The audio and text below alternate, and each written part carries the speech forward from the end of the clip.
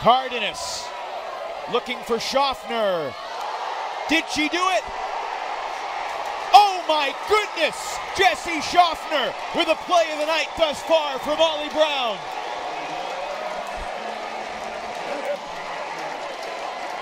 Toeing the line like an Olympic gymnast. It was a beautiful backhand put from Cardenas to bring Molly Brown back in the game, and it was another beautiful backhand put from Cardenas to tie up this game. This is incredible.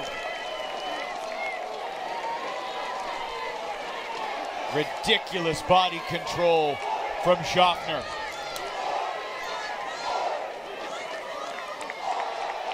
No doubt about it. Got both toes down.